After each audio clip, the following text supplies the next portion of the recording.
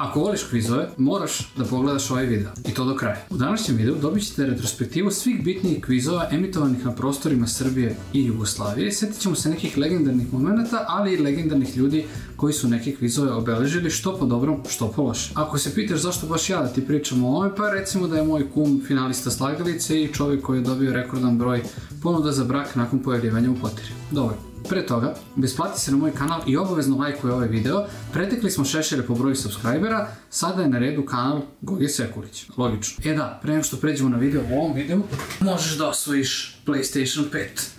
Prati zato do kraja. Idemo na video. Da bi kvizovi nastali, potrebno je da ih neko osmisli. A čovjek koji je osmislio možda i najvažniji kviz u bivšoj Jugoslaviji zvao se Lazo Goluža. Lazo je osmislio kviz za koji si vjerojatno čuo, čula, a nikada ga nisi gledao la. U pitanju je kviz Kviskoteka. Zaštitni znak ovog kviza bio je popularni kvisko, a sama igra sastojala se od pitalica, bliskih susreta, asocijacija, detekcije i pitanja i odgovora.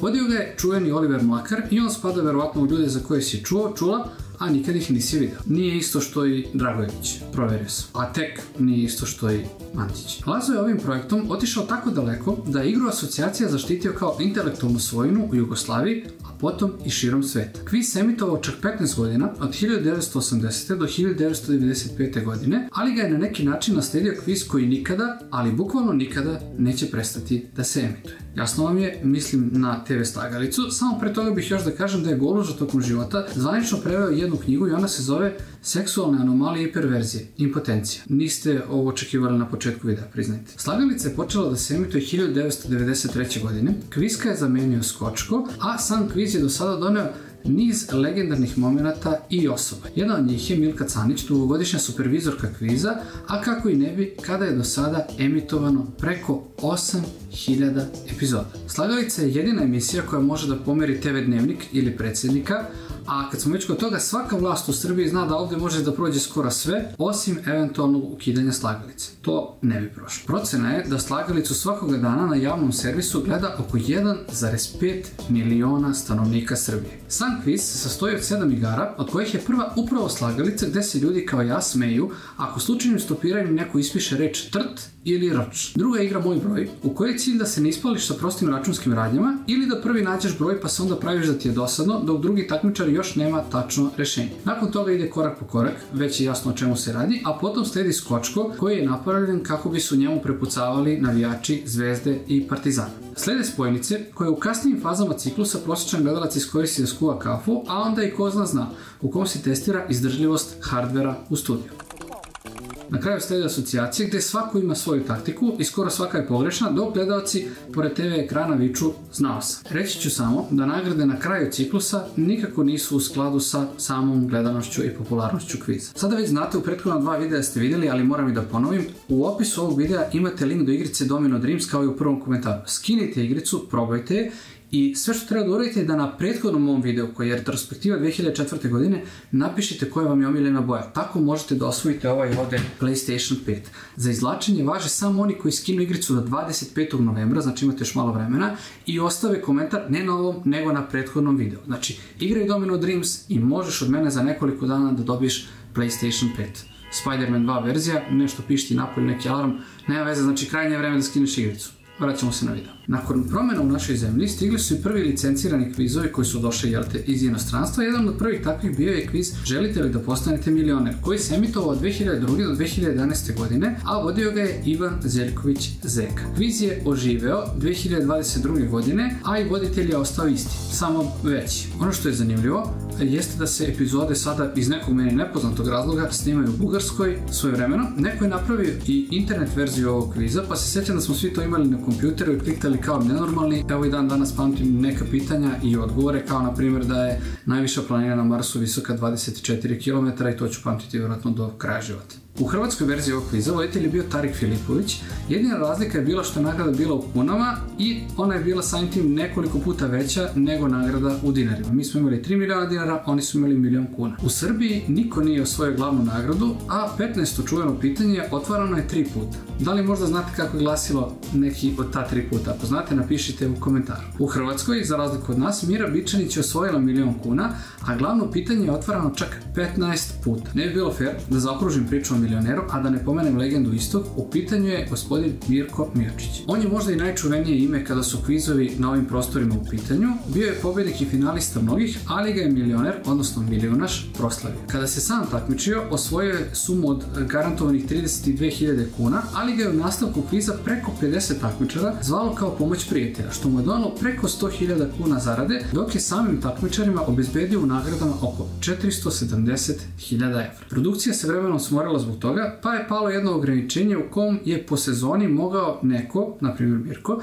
da bude pozivan samo tri puta. Kasnije je bio tragač, odnosno lovac u Hrvatskoj poteri, snimio je nekoliko sezona, a kada je trebalo da se vrati za novu sezonu 2017. godine, nažalost smrt ga je sprečila u tome. Ubrzo se na našim prostorima pojavio još jedan licencirani kviz koji se zove Najslabija karika. Ideja kviza je da se takmičari međusobno posvađaju kao zemlje bivše Jugoslavije, dok je voditelj ili voditeljka duhovita i zla. U domaćoj varijanti bila je samo zla. Kviz je emitovan svega od 2003. do 2006. godine, a ove godine se vratio i voditelj je Nikola Kojo koji u njemu glumi sebe. Ja volim Nikolu Kojo. U slično vreme pojavio se i kviz Sam protiv svih. Vodio ga je svojevremeno Ivan Bauer, koji je 20 godina kasnije sebe odveo do toga da je danas ambasador Republike Srbije u Maroku. Kviz je doživio svoje novo emitovanje par godina kasnije, samo je rebrendiran u Narod protiv, ali je sve ostalo ostalo isto. Ipak i to je brzo završeno, a njegov pravi nasljednik, rekao bih, bio je kviz Visoki napor. Ulogu voditelja preuzeo je Deki Pantelić i radio je to krajnje simpatično od prilike nekih 5 ili 6 sezona. Kviz je imao nekoliko etapa, ukupno 16 pitanja, a potom su sledili takozvani tenderi. Prava stvar za zemlju u tranziciji. Niko nikada nije osvojio maksimalni novčani iznos, ali je rekorder ostao Goran Leicht koji je osvojio tačno 1.836.662 dinara. A znak da ispadaš bio je zvuk groma koji je tu da te prepadne i dodatno ti pogorša trenutak u kom ostaješ bez svog ili dela osvojenog novca. Realno cimali smo se malo i mi pored malih ekrana. Mrzim frazu mali ekran. Umeđu vremenu, a čak i pre toga, Pink je pokušao da napravi neke svoje kvizove i nije imao velikog uspeha na tom polju. Napravio je kviz Kešolovac, također ga je vodio Mega Deki Panterić. Kviz je trajao 10 minuta, od čega su otprilike 3 minuta bile reklame. Ljudi su se uključivali telefonom i veći deo njihovog javljanja bio je da se dogovore oko toga da li se čuju ili ne čuju, da li ton kasni i da li uopšte vide sliku. Odmah nakon toga emitovao se i fonto, ali to sada stvarno ne bih komentarisao. Još jedan ružičasti format bio je ruski rulet. Tamo su takmičari propadali kroz pod, ali izgleda da je tako već decenijama na Pinku, ljudi se ili spuštaju ili podižu, padaju, šta god da sam pokazao rukama, otprilike tako je to izgledalo. Prvi voditelj bio je legendarni Irfan Mensur, potom ga je naslijedio Milan Kalinić, a produkcija je digla ruke od kviza kada ga je naslijedio kao voditelj Maca. Od 2006. do 2009. godine na televiziji BDV2 emitovao se kviz pitanja za šampiona i to je vjerojatno kviz koji vam prvi izmami osmeh na lice kada ga jednostavno ljudi pomenu. Voditelj je bio Ilija Kovačić, nagrade nisu bile pretjerano velike, ali kviz ostaje upamćen kao jedan od onih koji su nam donijeli najlegendarnije momente u istoriji domaće televizije. E, da, napravit ću odvojen video o legendarnim kviz momentima kod nas, evo javno obećam. Jedini pokretni kviz na ovim prostorima u tom trenutku bio je takozvani cash taxi. Vodio ga je i time se proslavio Ivan Ivanović od 2007. do 2009. godine, a taj posao u kom se on kasnije odlično snašao, našao mu je Ivan Zeljković, njegov prijatelj i kum, ako se ne varam, a već smo ga pomenuli ovdje kao voditelja milionera. E sad, i ovaj kviz se vratio, ove godine i voditelj je Miloš Biković. Znam da zvuči kao fora, ali nije stvarno, Miloš Biković je sada i Ivan Ivanović. Dolazimo i do posljednjeg u ovom nizu. Pitanju je trenutno vjerojatno najdominantniji kviz na ovim prostorima, ako isključimo slagalicu, Hotera. Kviz se emituje u Srbiji negdje od 2013. godine i emitovat će se vjerojatno sve dok čuveni šarenac ne ode u penziju. Sa ovim kvizom, moram da kažem, kao klasičan Srbin imam jedan problem, u pitanju je problem poverenja, a, a to je što tragač koji se direktno bori sa takmičarima je na neki način deo produkcije i onda može se reći da ne zavisi sve od samih takmičara, već uh, i delom od produkcije. Ne znam, napišite u komentaru što vi mislite, taj deo mi generalno smeta, iako je kviz zabavan i uzvojiv.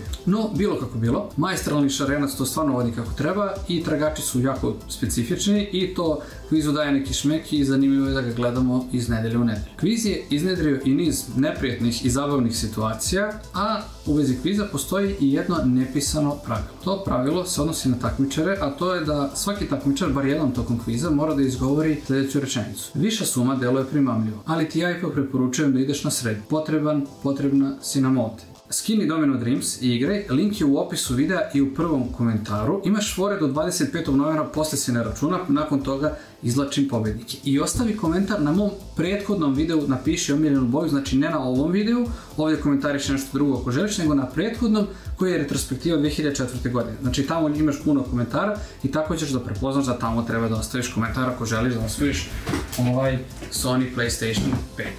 Bezbedan je Spider-Man 2 verzija. I besplati se na moj kanal da preteknemo Gogu Sekulić i pogledaj još neki video. I uskoro ide još jedan video na temu kvizova sa specijalnim gostom i bit će taj legendarni sa legendarnim momentima. Ćao!